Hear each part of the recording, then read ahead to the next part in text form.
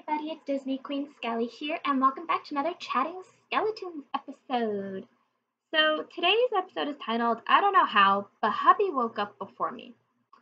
So, this is going to go back a little ways to when hubby and I first started going out. Um, he has always been the type of person to stay up late and then sleep in till like 2 in the afternoon.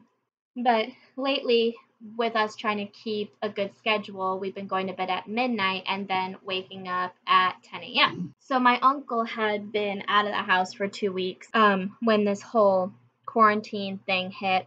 My so hubby was sleeping in um, the spare room so that way you know there could be some quiet time when he slept because my dad works from home and he works out in the living room because that's where our desk is.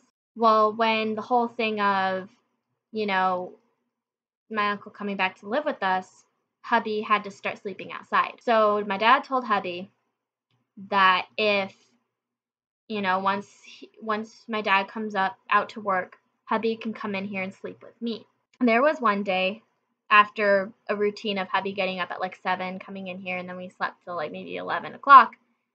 That it was ten o'clock, and this happened twice. It was around 10, 10.30 Hubby comes into my room and I'm still knocked out.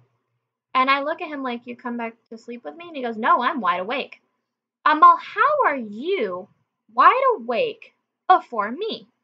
Because between the two of us, I'm an early bird. And we've even discussed that when we start having kids, I'd go to bed at nine o'clock, he'd take the night shift when they needed something, and then I'd wake up early around six or seven and take the day shift. Like literally, it was gonna be that easy. I'd usually wake up at like 7, 8, or 9 feeling fully rested, going to bed at like 9, 10 o'clock. But because we've been on such a horrible sleep schedule, you know, I've been going to bed later, waking up later, and so is he. But for some reason, those couple of days, he woke up before me and he was wide awake. And now I'm trying to wake him up at 10 o'clock, and I'm kind of thinking, you woke up those couple times before me, wide awake, not giving a care in the world, and now I'm waking you up after like 10, 8 to 10 hours of sleep and you can't get your ass out of bed. How exactly does that work again? Like he hasn't been coming in my room lately, which is totally fine because the the guy knocks out and stays asleep until one of us wakes him up or his alarm wakes him up. And the only two people that can wake him up are me and his sister, which is kind of special. I think it's special because I love his sister and his sister's amazing. She's such a sweetheart. But anyways, yeah. So that's the bizarre story of how hubby woke up before me. And I'm hoping to get back to my early bird um, wake ups soon because I'm tired of going to bed late and waking up late. I feel like I'm wasting my day. But anyway, that's just my process, thought process.